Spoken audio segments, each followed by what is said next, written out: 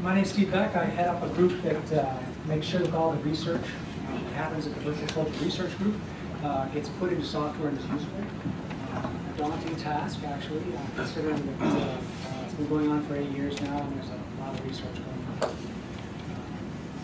Very extensive, very broad range, broad broad range of research going on at facilities.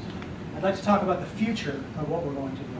Uh, For us, the game changer, thing that sets us apart, the thing that, the, thing that makes a difference is that we create mathematical models that predict motion, predict forces required to produce that motion, and predict the physiological changes in the body based on, the, on producing the forces to produce the motion. So it's a, it's a pretty big problem. So, uh, we're, we're coming a long ways. Um, this is a mathematical model of running. And uh, this is what we're going to be working on. Now, as Dr. Abusick said, the reason for a mathematical model, the beauty of a mathematical model, is that you can make changes to parameters and see the difference.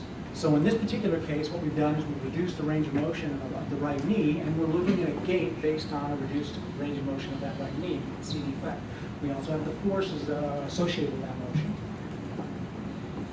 In this one, we put, we placed an asymmetric load on his body. Obviously, that weapon weighs a lot more than it really does, but just for, uh, uh, just to make sure that it's obvious what's going on here, we now have a predicted walk that's showing you what happens if you have a lot of weight on one side of your body. So once again, a mathematical model that you can do cause and effect, uh, what if, what if changes. In this particular case, we're talking about a, a backpack. It's the same mathematical model for walking. What we've done is we put a backpack on his back and we're looking at the, the result of that 20 pound pack. In this case, all we've done is we've changed the weight of the backpack from 20 pounds to 80 pounds and we see the result. We don't have to, we don't have to modify the algorithm, we just make the change in the, in the software.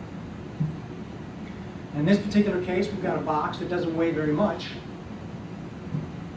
And Here, we, we, we change the weight of the box so it weighs a significant amount more, and you can see the change in what the avatar does.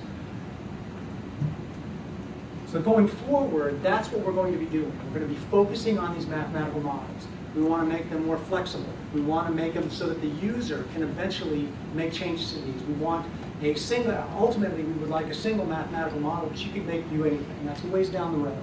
But in the meantime, we're going to make them faster. We're going to make them more robust. We're going to make them usable by other people.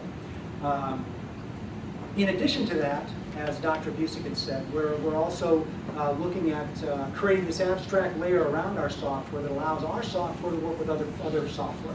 Um, just as everyone else here says that the need for software to be integrated with other, other packages is clear. Nobody's going to be expert at everything, and we need to make sure that we can work with everybody.